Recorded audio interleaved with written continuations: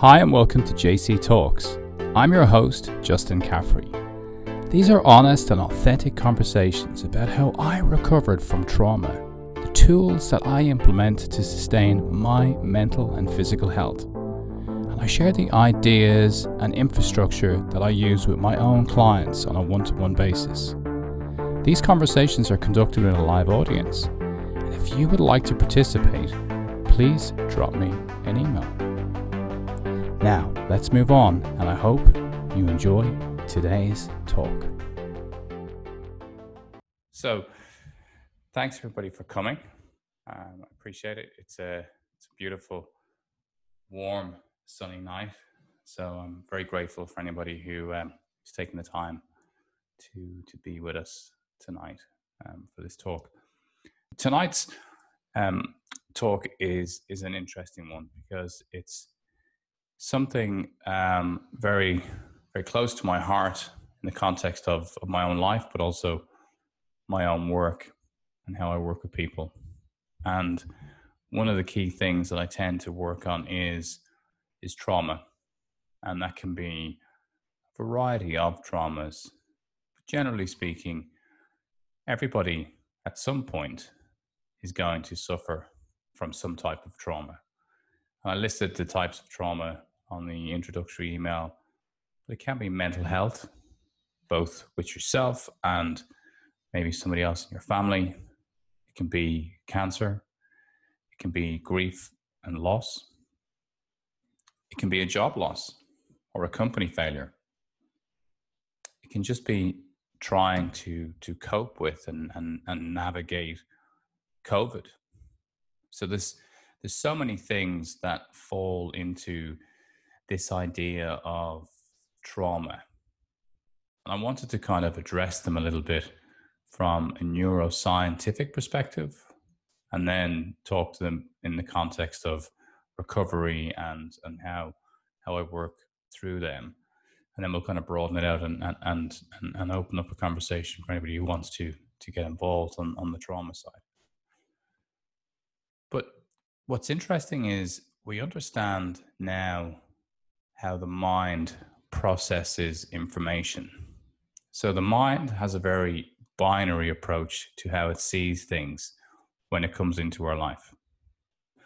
And if it sees something that is traumatic, it very simply treats every interaction in a binary sense. It's either a threat to life or it's okay. It only has two options. So every time it sees something, threat to life or okay. So when a challenge in your life comes along, and let's take an example of losing a loved one you lose a loved one and it's very, very painful. So the nervous system and the mind come together and they think, mm, this feels deeply painful. This is a threat to life. It's very dangerous, feeling very uncomfortable. And it then decides to file that trauma into back of the mind where it files everything that it doesn't really want you to see, nor does it want you to really go towards again anytime soon. And an interesting example of that can be often when children lose somebody at a young age, might be losing a parent, might be losing a sibling, becomes an incredibly traumatic situation. And they move that into the trauma file. And then every time anything that looks or feels like that comes along, it triggers this connection back to trauma. And that child can feel really quite perturbed and very quickly emotionally stimulated. And they can bring that through their childhood. And then, of course, as most of us do, they then bring it into their adult life.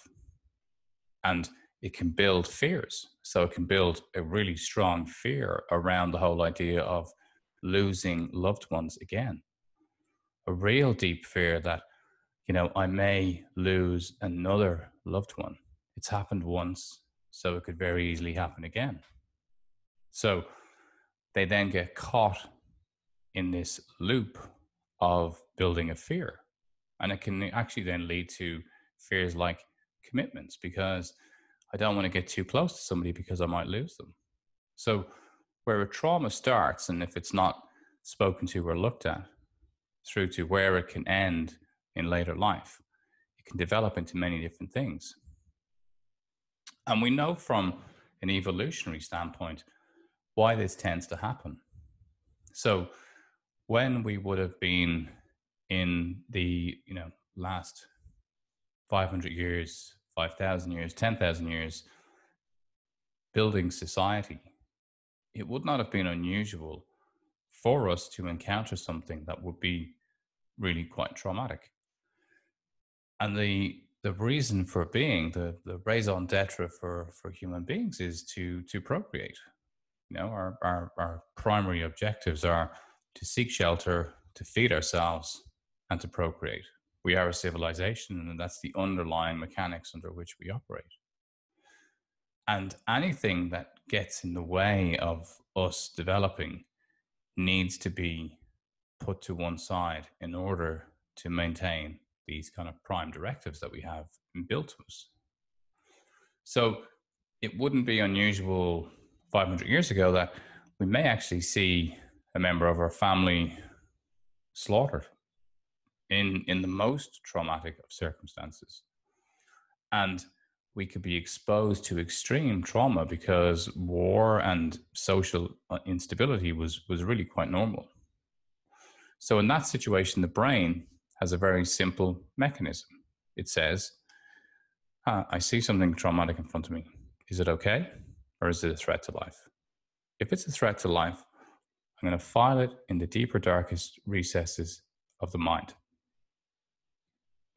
and once it's in there, the only reference I need is if anything else reappears that looks like the same thing, I'll quickly look at it. I'll play a quick flash in the front of the memory to remind the person, ooh, last time we're in this situation, something terrible happened. And then the person moves away, retreats, and moves on. So, very helpful from a human evolutionary standpoint. But in the 21st century, the things that really are going to be a threat to our life are quite minimal. And if you think about it, the the idea of seeing something horrendous like your family being murdered two or three hundred years ago in modern life okay, we will, of course, lose our partners and we'll lose our children.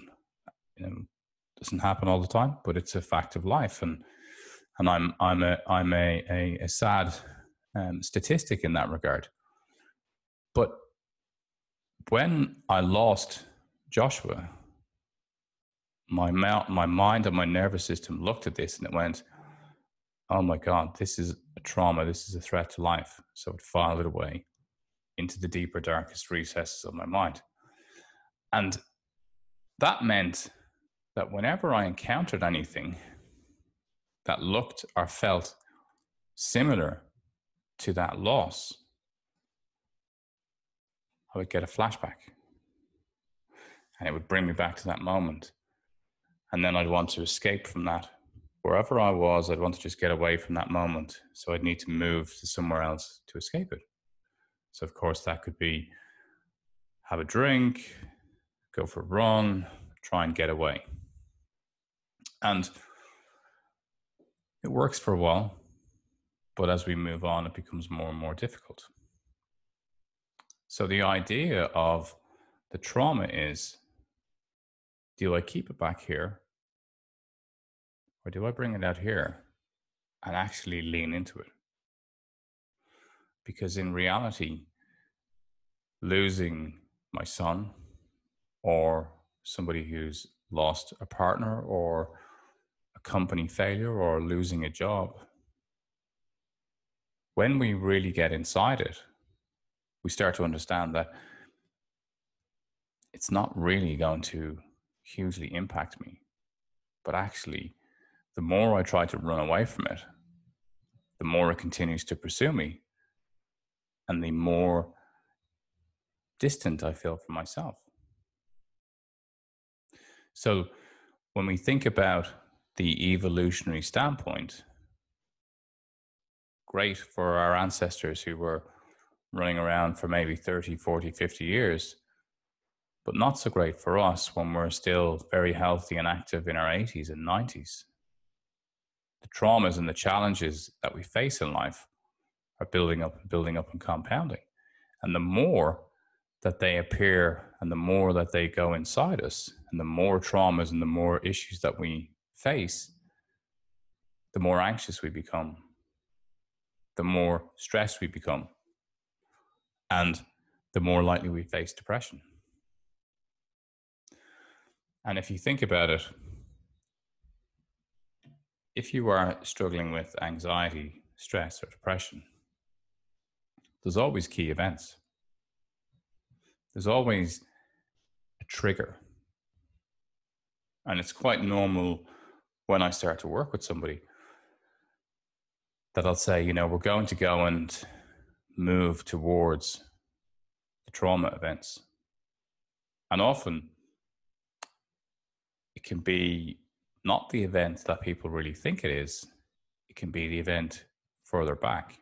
And ironically, for me, when I was in therapy myself um, seven years ago, I went for therapy around my son, but actually, he was the straw that broke the camel's back. There was other traumas that had not been resolved going back 15, 20 years.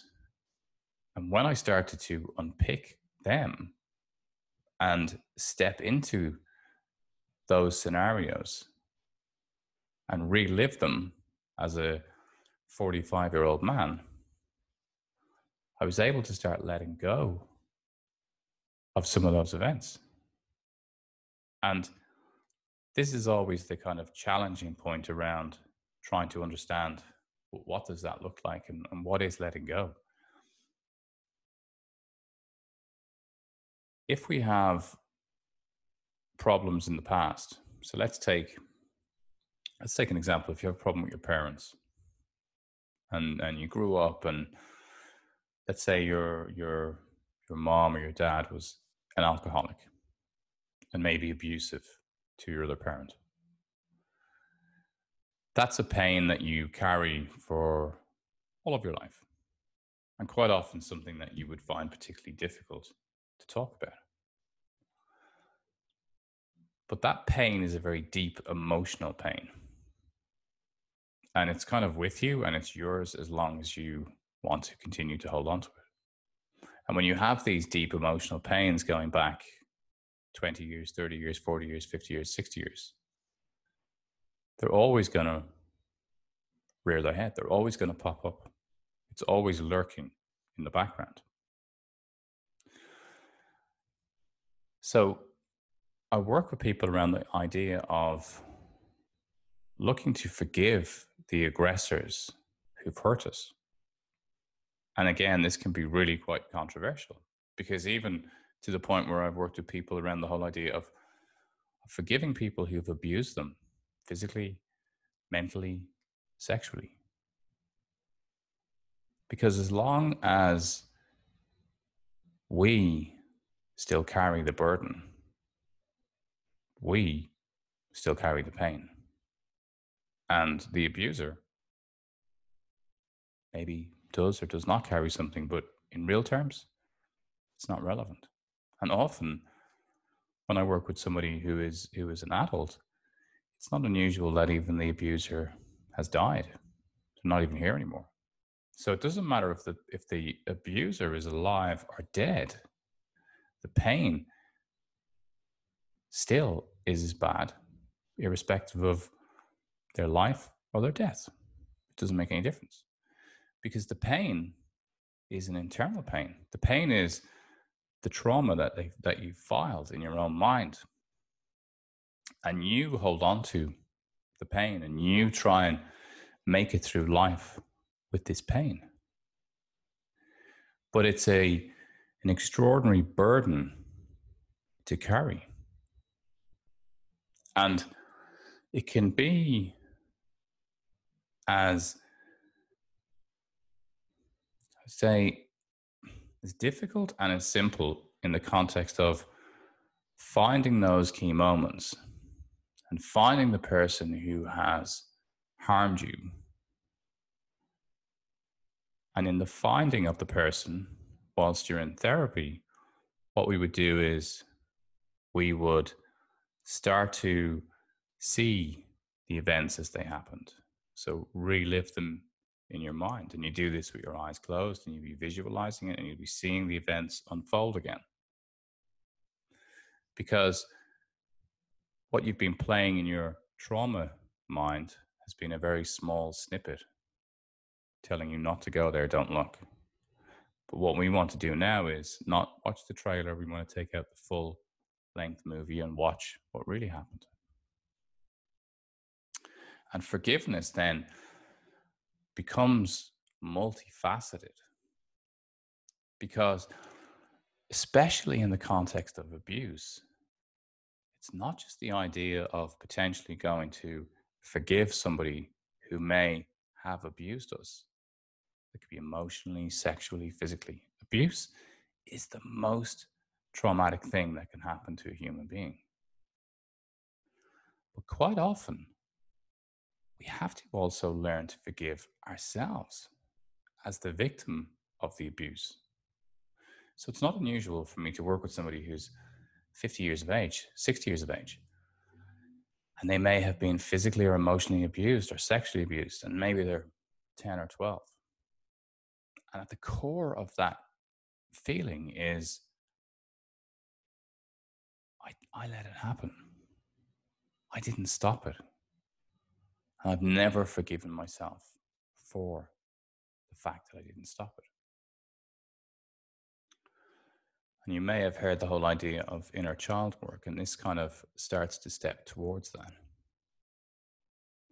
When you can be the 50 year old who can then watch this movie back, but realize that what they're watching is a 10 or 12 year old version of themselves You can then move to the next stage to say, well, at 10 or 12, you didn't have all the knowledge you have at 50. You didn't have the physical capacity to be able to stand up for yourself. You certainly didn't have the intellectual capacity to do so. More importantly, you were probably driven by fear. So the emotional or physical or sexual abuse was perpetrated upon the person by somebody who's manipulative and able to control the situation. But what happens is we hold on to our behavior at 10 or 12 and we measure our behavior for the rest of our lives based on the timeline where we are in our lives looking back. But when we're able to then see ourselves as a child, a big part of dealing with those traumatic issues in the past is I'm going to forgive myself because I didn't know any better when I was that age. And that's a whole process that, that takes um, at least a session in therapy. And then it would move on to I'm going to forgive those people who have hurt me. And I'm giving the example here of emotional, physical, or sexual abuse because this is the most extreme. But it's not unusual in therapy that we start to look at, you know, I was bullied in work, I bullied in my relationship, I was treated badly in work, I was treated badly in my relationship. And each of these things are all mini traumas, and each thing has the same impact on the nervous system. And each time the nervous system goes, Oh, this is a trauma, follow away into the deeper, darker recesses. And anything that comes near it and looks like it, let's run away from it. So people build phobias. So we are often unpicking phobias by finding traumatic events and then disassociating the trauma from the thing that you're fearful of. And then all of a sudden, you see yourself 20 years ago, 30 years ago, 40 years ago, 50 years ago, and you see the event and you see the perpetrator and you find the capacity to step away and forgive yourself. And then moving to the point of forgiving the perpetrator. Of course, people will go, oh, well, you know, why do I want to forgive him? And it's this person, you know, he or she was the most terrible person in my life, and, and I, I don't want to, I don't want to forgive them. They don't deserve it. We're not issuing a public um, forgiveness notice in, in the in the main evening newspaper. Doing it on our own, in the safety of our own environment, and really speaking to our own nervous system. Because when we start to let go, we regain control of ourselves. And it's not forgiveness in any kind of religious or Christian sense, not at all. It's simply about letting go. We hold on to so much inside. And the pain of what we hold on is the torturous part of our lives. And the idea of letting go, and it comes to like even the most difficult thing in our life, when we start to do that, the freedom that it starts to create, the spaciousness that starts to open up, the understanding of ourselves can really be quite extraordinary. And when I when I did work on myself um, many years ago, and I started thinking that you know losing my son was my trauma, but then I found huge challenges with my father, who was very unwell as I was growing up, and coming to terms with that young child who struggled to see his father being institutionalized, who struggled to understand why there was no emotional relationship. He struggled to understand why his mother could have no relationship with him because she was dealing with my father. And I saw my my aunt, his sister, commit suicide during this period of time. So all of a sudden I realized that there are multiple perpetrators or actors within my life. And when I start to let go of each one of them, there's a spaciousness and a freedom and an acceptance. And then I can deal with letting go of Joshua's death. And speaking about Joshua's death is quite easy now because I take Joshua dying out of the traumatic memory and I move him into my normal memory because I can't influence and control Joshua dying. It's happened. I can't influence and control my father being institutionalized when I was 11 or 12. I can't influence or control my godmother committing suicide. What I can influence and control is how I react and how I deal with my emotions.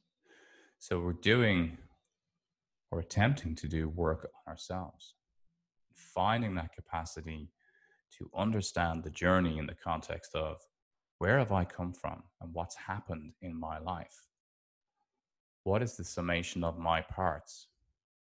And often, as we call this idea of limiting beliefs, things that hold us back, and I do work with, with senior executives, it's very typical that where they are right up there, but they're never really getting to the next level, you just start to find something that holds them back.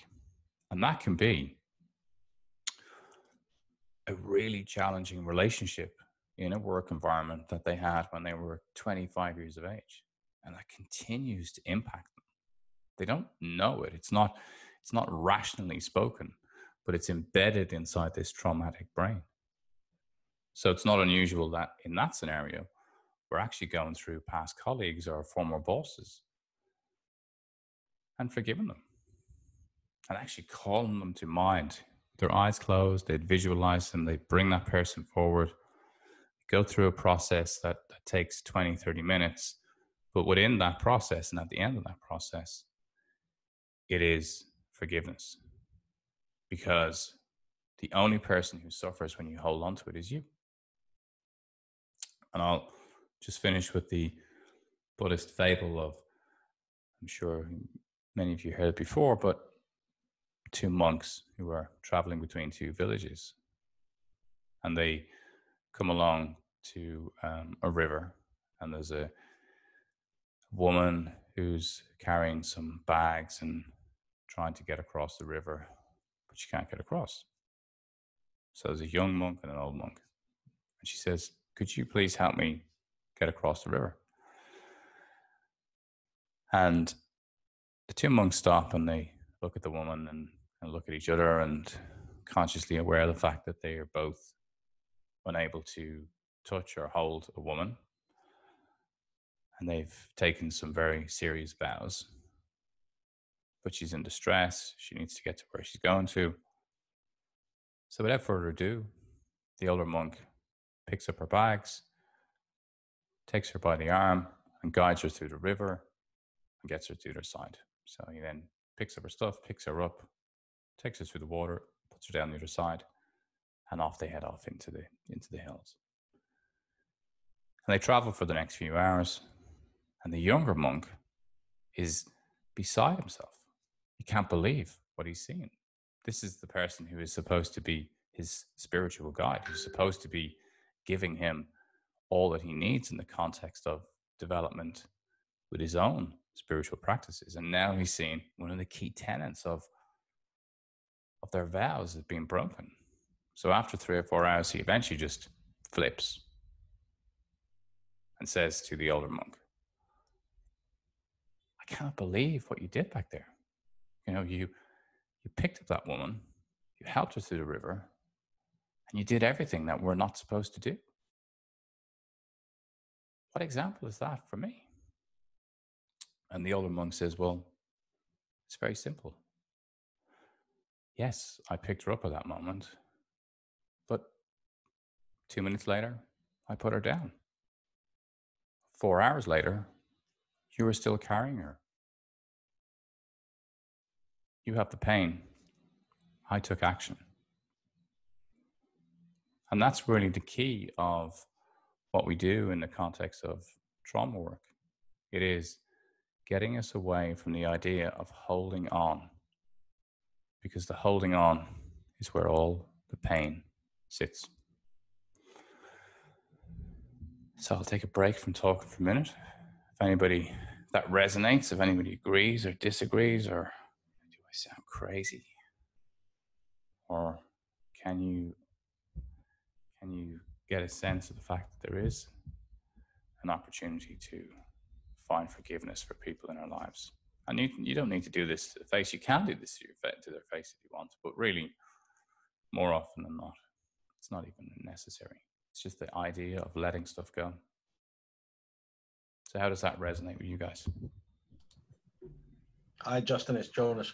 Um, I think it's very interesting. I think it's it's it, it's there, there's an awful amount of truth in that. Um, in the industry in which I work, where sometimes people only hold on to a job for a couple of months for whatever the reason is.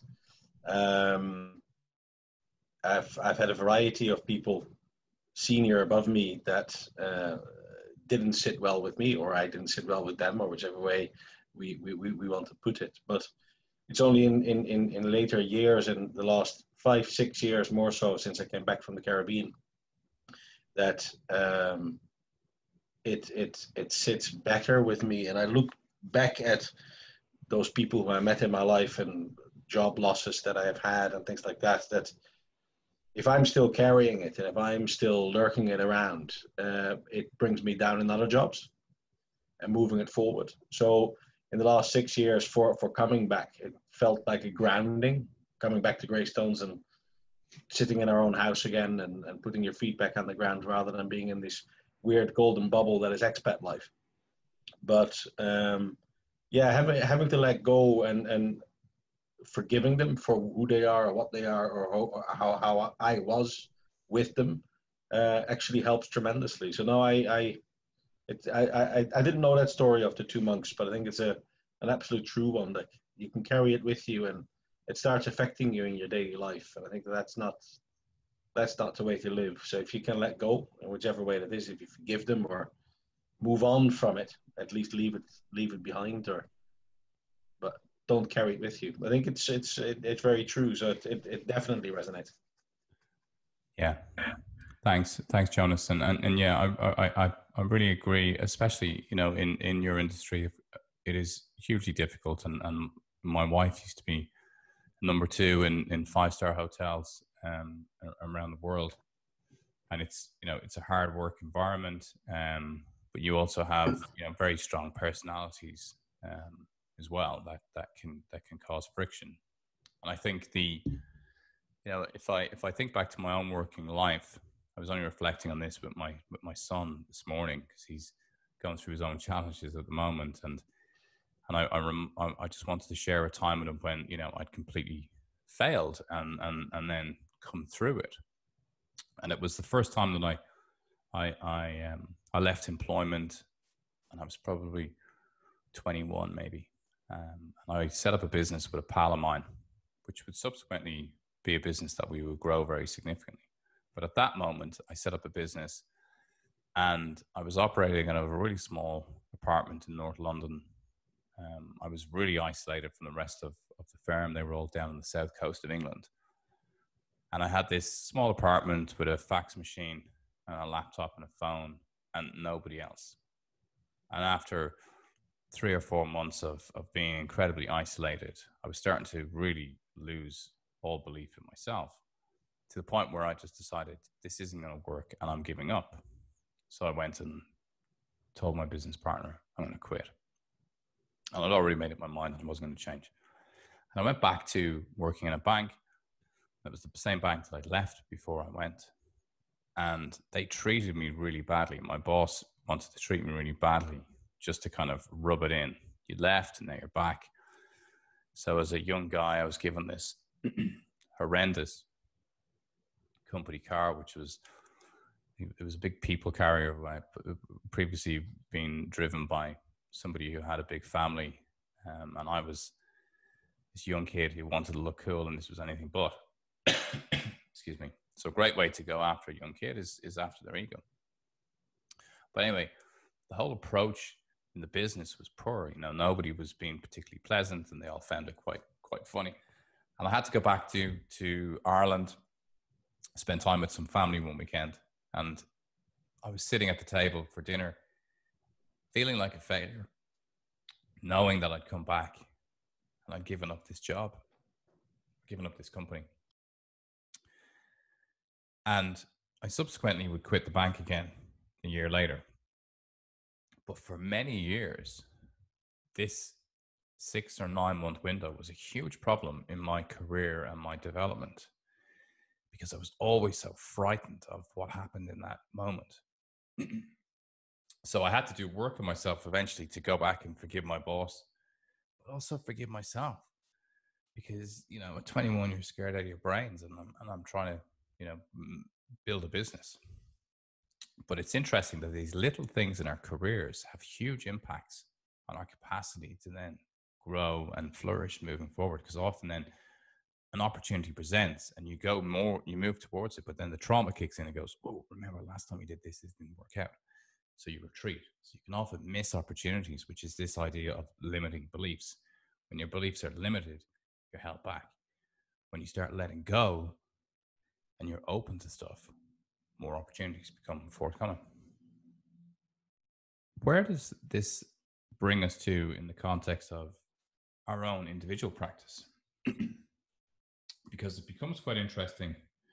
If you're in therapy or you're a coach, you can you can work through these kind of traumas. You can also do this type of work on your own. And when we are learning to meditate, when we're learning the whole idea of mindfulness, a huge amount of what we're trying to do with our mind and our body is to connect into the nervous system is to create this capacity to understand what's going on inside ourselves.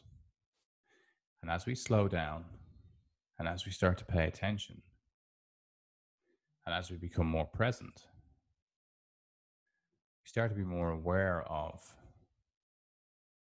our triggers.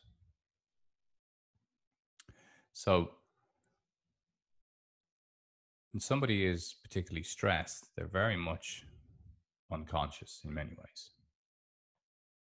And it's I read this comment today, which is really quite nice and quite funny, but it's when we live unconsciously and we're living with anxiety and we're living with stress, we're not able to really pay attention to anything. And it's it's described in, in Zen Buddhism as two friends out on the street, and one friend sees another friend coming flying past on a horse. And he says, Hey, friend, where are you going? And his friend yells back, I don't know. Ask the horse. And in that scenario, the horse is our lives. When we're unconscious, when we're not able to pay attention, when we're on autopilot, things just happen to us constantly. And people who are stressed will always think, well, you know, I'm just waiting for the other shoe to drop. The next thing is going to go wrong. But it's because we are overwhelmed with so many issues and traumas and anxieties. And it's come to the point where, you know, it's like the water bottle, it's full to the brim, it's starting to overflow. So it's the whole idea of the more stress, the more anxiety, and the more trauma that I have in my life, the less space there is for me. And the less space there is for me, the less I like being me. And if you play it to its to its ultimate scenario where people start to feel that suicide is an option, quite simply it's because it's all become too much. They don't have the capacity to deal with it anymore. And their understanding of how they see anybody else has all subsided. They just simply believe that the noise and the chaos in my head is just too much. And actually, in fairness, the world will be better without me. So it's why it's so important to catch anxiety and stress as early as possible. And to have conversations with people who we think look anxious or stressed.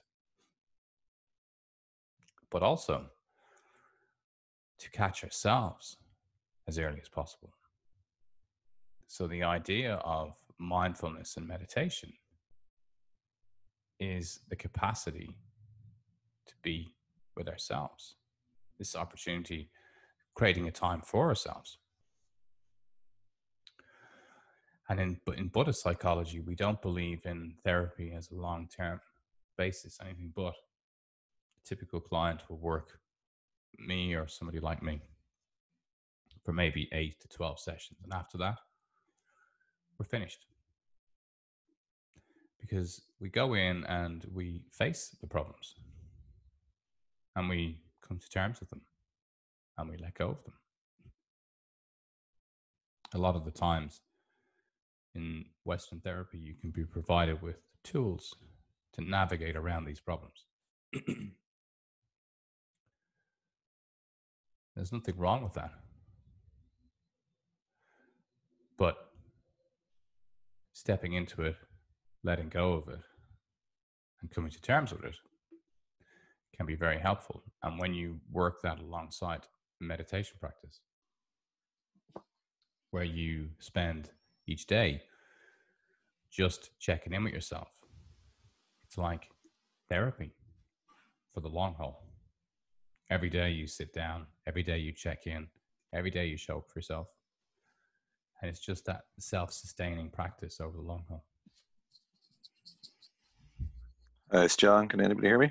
Hi, John. How's it going? Hi. Good. Yeah. It's funny you say that. Um, I had a therapy session today, and it was about my eleventh, twelfth, and the therapist said, "Don't know if I could do anything anymore, to be quite honest."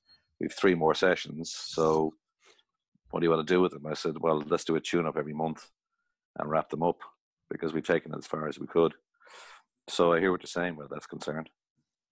Uh, plus, you talk about the suicidal thought. That's the one I had one in the middle of my depression a couple of months ago. It was the clearest thought I've ever had. Everything else was confusion and uh, pain and suffering, and uh, everything else was going around me was just crashing down around my ankles. But this took me away from all of that, and it was the clearest thought. Everybody said to me, "Oh, you must have been scared." It wasn't. It was actually very calming. So I can see now why somebody who d- takes their own life, leading up to it for a week or two, people say, "God, they were very happy because they've made that decision." Because everything else around them is chaos, but this is the one thing they can control. So I had to drag myself back in from that moment back into the chaos as well to try and deal with it. I rang people, whatever, and they pulled me out of it. But it was a very clear, very, very clear moment. Huge moment of clarity. Probably the most clearest thing I've experienced in perhaps my entire life. Because I just went, I'm in control now.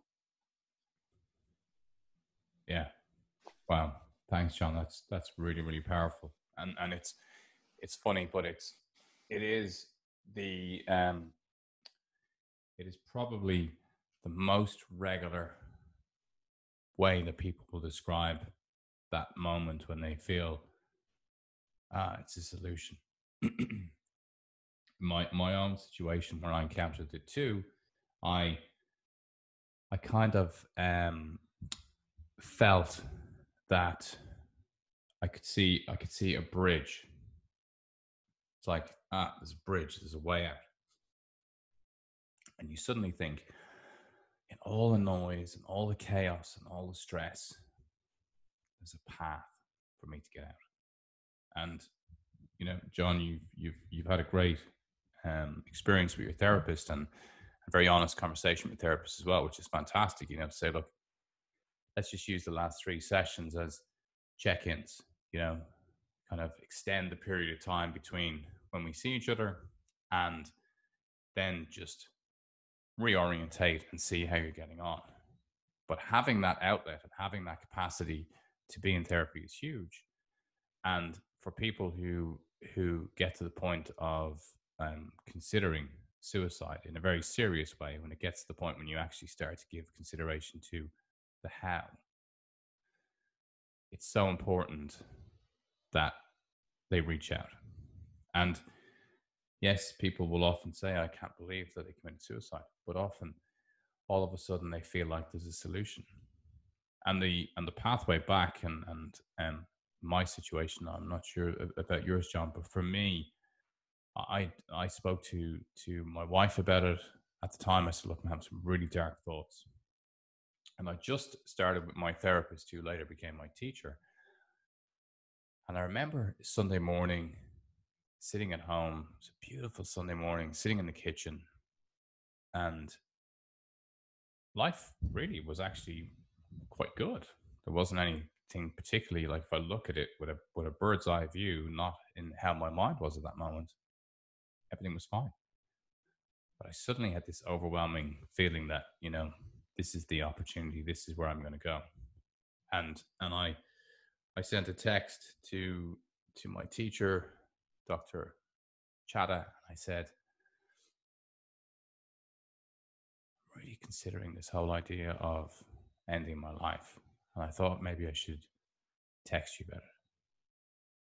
I always remember he's he's a very dry and witty man, but very straight. He just texted me back and he said, Hmm, okay. Most important thing is don't do anything until tomorrow and we'll meet in my office at nine o'clock. And that intervention and instruction allows you to just create that space of a moment to go, okay, I won't do anything until tomorrow and I'll go and see him. And then you do the work and you let go of it. But it's the whole idea of the forgiveness is such an early point in the process. But if we don't spend time on ourselves, do the work, or, you know, notice our children, our, our loved ones, our partners who all have, have issues and just give them opportunities to find space and find therapy or find meditation or mindfulness or whatever it is that unfortunately it does snowball and, and, and there are significant consequences and trying to catch people um, before then is, is, is an important thing, but it's, it's a tragedy. I'm glad I didn't do it. So, Someone, uh, yeah, uh, uh, much better, much much better these days. Uh, in good place, thankfully, you know. So actually, funny you're talking about your dad and and Colin's your brother. I was in your house actually. Uh, what year was it? In 1980, around that time. I stayed overnight. Myself and Colin were working in Radio City back in the day. So I was in your house, heck, hell, 40 years ago. That's scary. scary. That's scary. Yeah, uh, my my my dad was at you know was, was such a challenged human being, and and it's it's a, such a tragic story. My dad died on Christmas Eve, and he was 86 when he died, and he spent his he spent his entire life with um, depression and anxiety, and and had electric shock treatment in in in the 80s. Um, was was you know suicidal on multiple um, times and and was was in St John of God's, and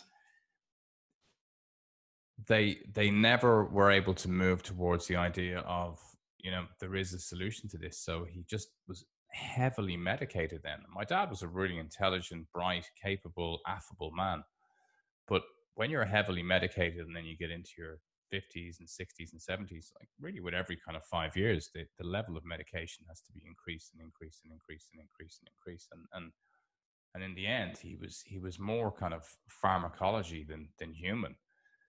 Um, and just simply because, you know, there wasn't an opportunity to, to help him. There was therapists around in Ireland at the time who, who had those tools.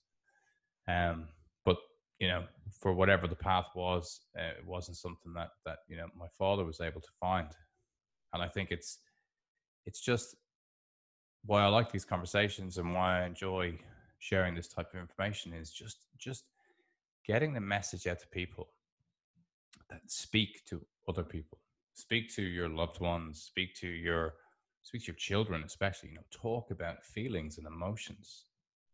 You know, we we we we have kids going through school and, and huge amounts of pressure being put on them by parents because you know i want you to to play for this football team or this rugby team or this GAA team or this hockey team. I want you to go to this school and i want you to get these grades and i want you to take those subjects. And then i would like you to go to this university because i really want you to be studying medicine or be an engineer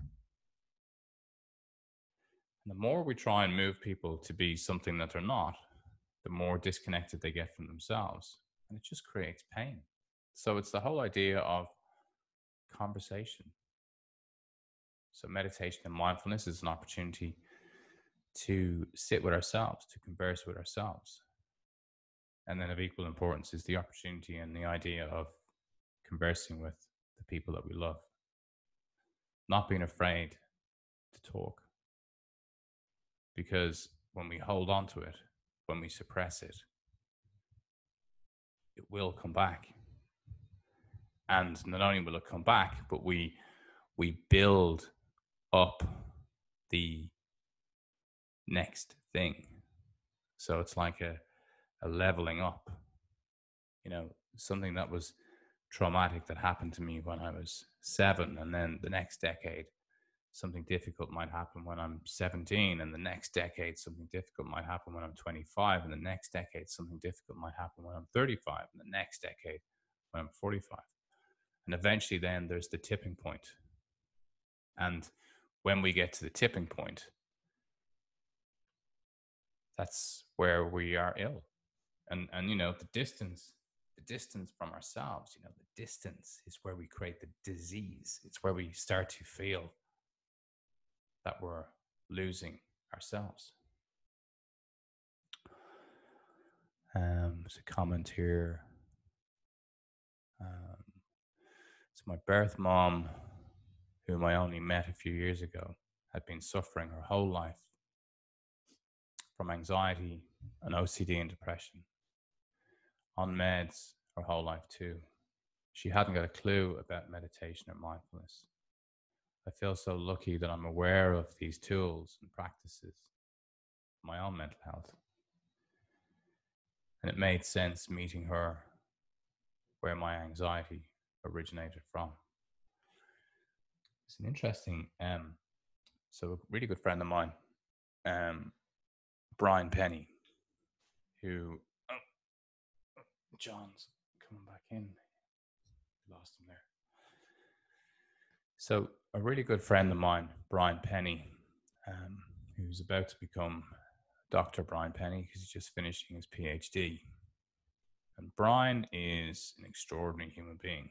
And the two of us have a great love of neuroscience and mindfulness. So, how do these two things interconnect? But Brian has Brian became a, um, a drug addict. Spent 17 years as a heroin addict. Came clean in 2013.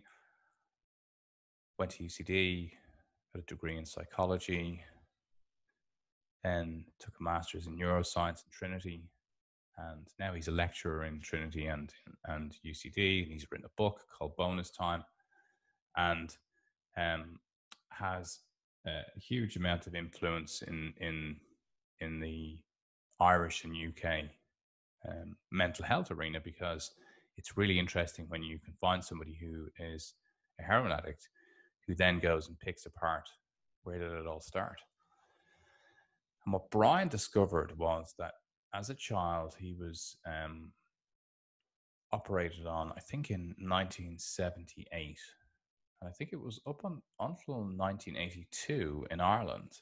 We didn't administer general anesthetics to babies under the age of, think, three months or six months when they were in surgery. So Brian started to research the fact that the pain body, this whole idea of our nervous system, even as a three month old baby, holds on to extreme emotional pain. So when he did all the work in himself, and then he went off and done extensive research, and he still has a research program going on at the moment in, in Trinity College with other addicts, looking at this exact same issue.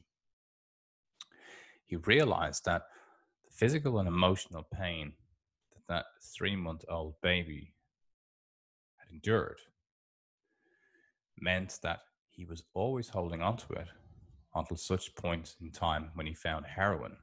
And then all of a sudden, the pain was gone. And even today, when Brian is still stressed, he often will touch the scar. And the funny thing is, we discovered when we became friends that we were actually operated on for exactly the same procedure a couple of years apart. And both of us nearly died as, as infants. And it's something that I'm exploring now. You know, how did that have an impact on me?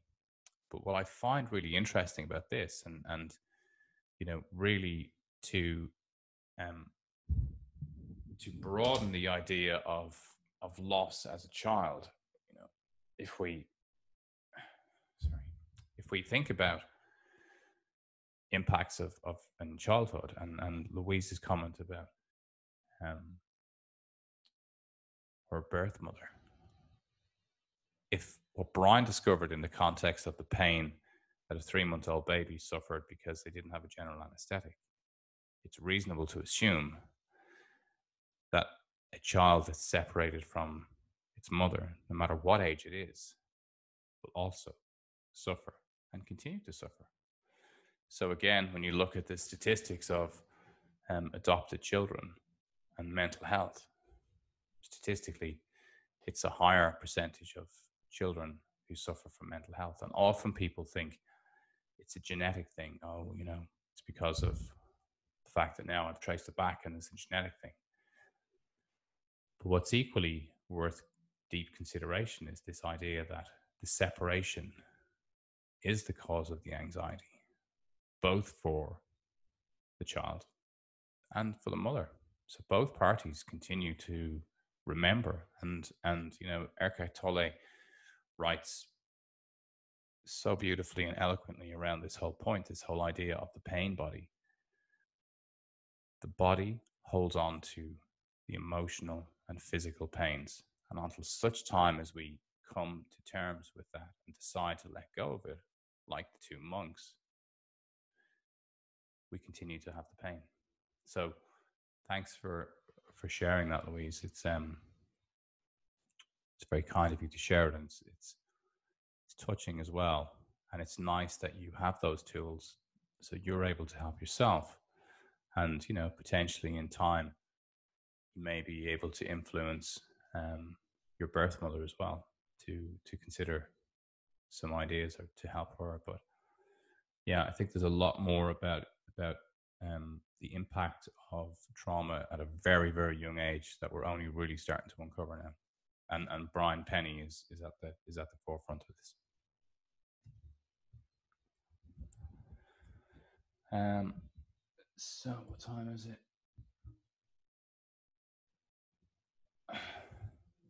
All right, it's Lulu. Hello, Lulu. You're in the dark, so I couldn't see you. I thought I thought it was a different, a new Louise. Um, so Lulu, thanks for sharing that. And I know you've got you know phenomenal resources. And in fairness, you know Lulu was fantastic um, on, on International Suicide Day, putting up some great tools for people to um, to go to and use, and, and a great advocate of speaking about suicide. I think it's it's so important that we just bring it into the the narrative of, of conversations at home and schools and everywhere else. So I think with that, unless anybody wants to to come in and add, we'll wind it up on this very balmy, warm evening. And um, it's dark now, but it's very, very warm. It's great for the middle of September. It's unbelievable, isn't it? Mm. It really is. It's really unbelievable. And I, I have I have to close my window in my office because otherwise you hear the traffic going by. So I'm uh, kind of medium rare at the moment. All right, guys. Listen, thank you so much for for being here. Thanks for participating. Thanks for your questions, um, and uh, thanks for sharing, John and Louise, Lulu. And uh, I hope everybody has a lovely week, and I hope to see you all again soon. Great. Thanks, Justin. See you next week. Hey, guys. Thank you, Justin. Thank you. Thanks. Bye bye.